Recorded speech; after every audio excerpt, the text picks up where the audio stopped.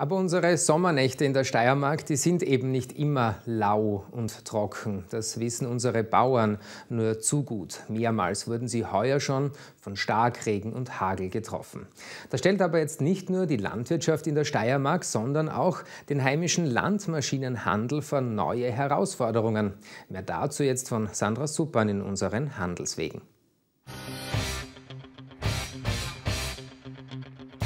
Wenn Pferdestärken und Hightech verschmelzen, schlägt so manches Herz ein bisschen höher.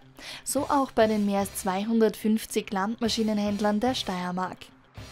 Landmaschinen ist ein Riesenbereich. Das geht draußen von, der, von den Ackerbautraktoren mit über 400 PS und relativ großen Maschinen bis hin, so wo wir uns jetzt befassen, mit kleinen kompakten Maschinen, die speziell auf Wein- und Obstbau spezialisiert sind.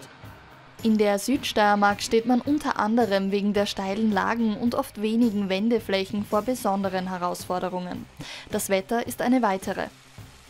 Aufgrund der Zunahme von Hagelschäden und so weiter äh, wird es sehr viel Hagelnetz montiert in unserer Region und das macht natürlich bisher, bisherige Arbeitsmethoden, mechanische Arbeitsmethoden im Weingarten überflüssig oder die müssen einfach durch andere Methoden ersetzt werden, wie zum Beispiel die Entlaubung in der Traubenzone.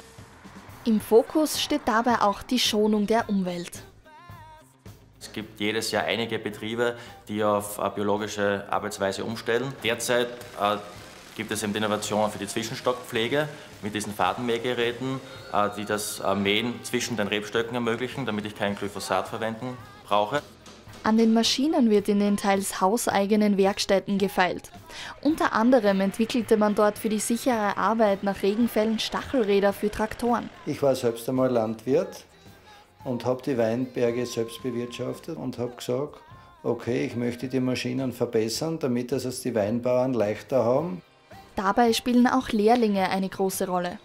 Wir haben in der Werkstätte momentan vier Lehrlinge. Im Handel haben wir zwei Lehrlinge. Es ist extrem wichtig, dass wir Lehrlinge ausbilden. Es ist immer was los, man lernt immer was Neues dazu und man hat immer was zum Arbeiten. Um die steirische Landwirtschaft rund um die Uhr zu unterstützen. Denn das Wichtigste an den Maschinen sind die Menschen, die sie antreiben.